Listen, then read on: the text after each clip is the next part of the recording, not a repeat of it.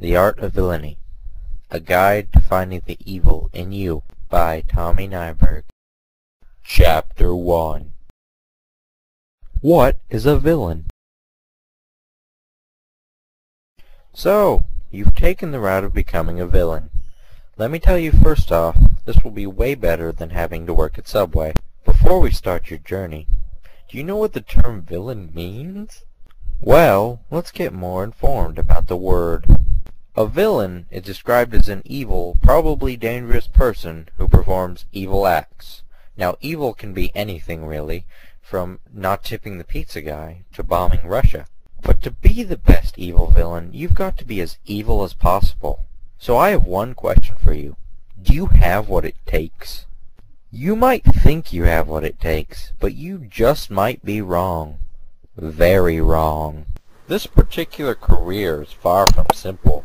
It involves much training, studying, and most of all, commitment. If you aren't willing to work hard, then I suggest you leave now and take up something a little easier like psychology or genetic engineering.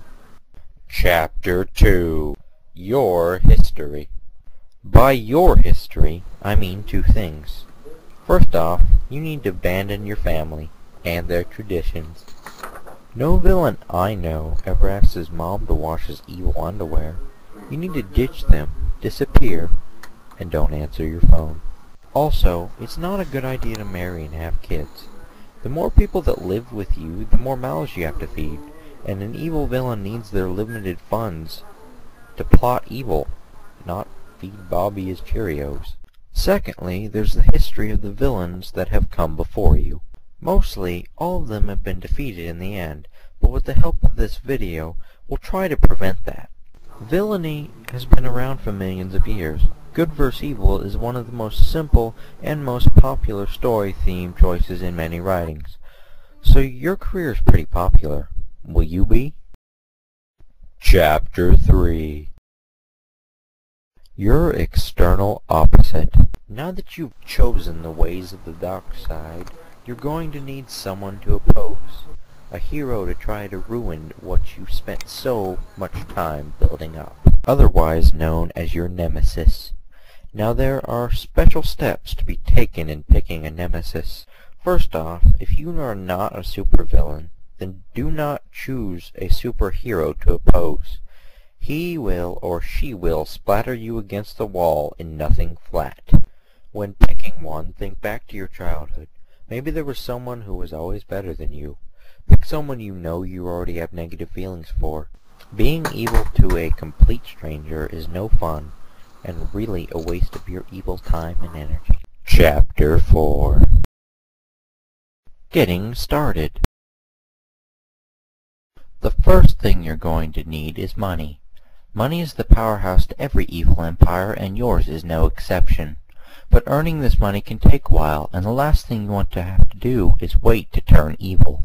Once you've got a hold of your riches, now the real fun begins. The second thing you need on your big shopping list is a lair. Every villain needs a place to stay, and a hotel room just won't cut it. You want your lair to be well hidden, away from prying eyes like the FBI or your nemesis. Another thing to take into consideration is the number of henchmen you'll have. 25 henchmen per every half acre of land you own is a pretty good estimate. This ensures that if your nemesis ever finds out where you live, there's no way he's getting into your lair without getting caught. Now the most important thing you'll need is an evil diabolical plan. The most popular plan is always world domination, but that really isn't very practical for the newly formed villain that you are. Start small. Darth Vader didn't build the Death Star in a day. Chapter 5 Little Evil Tweaks It's time you learn about evil etiquette. Let's work on that laugh of yours. A villain is nothing without his laugh, and yours had better be good. But not every laugh is a good evil laugh. Tee-hee-hee is a terrible evil laugh. Next tweak, your appearance.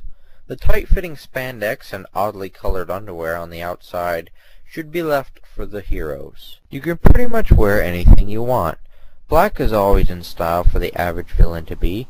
Capes are good too, but try a shorter one or you might be tripping over it all the time.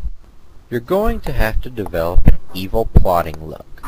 It's a lot like The Thinker, only way more evil. This should convey to your nemesis or anyone that happens to be around you that you are thinking and they should be running. Now you should be socially acceptable in the world of evil. And most importantly, you've saved yourself from embarrassment when attending evil parties, which of course is what you will do often. Evil people love to throw parties, and they love to invite people to converse and drink evil punch. These parties are great for spreading your name in the evil community. Here are a few things you might want to do while at an evil party. If you feel it necessary, take on the role of the mysterious loner by the punch bowl. Don't feel guilty about eating all the hors d'oeuvres. You're evil, remember? Talk about your evil plans. People find this interesting. One word. Karaoke. Point and laugh at someone. Don't tell them why. Start a conversation with someone. Halfway through, gasp and mutter something like, So you're the one he said was ugly. By the end of the night, you should be the life of the party, and people will respect you. Chapter 6 Pointless Evil You may be wondering how you can stand out in the world of evil. Well, my friend, the answer is quite simple. Pointless evil. Steal candy from a baby. Stand in an elevator and talk incessantly to those who board it. Send your neighbors fake letters from the IRS stating they are being summoned to court.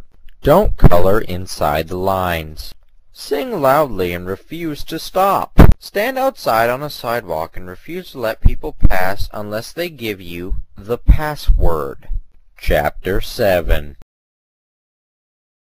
Abandonment Because life of crimes are very risky, some of us need a bailout plan. This is not something that you want to happen, but in some cases where your options are limited, this is the best choice to make.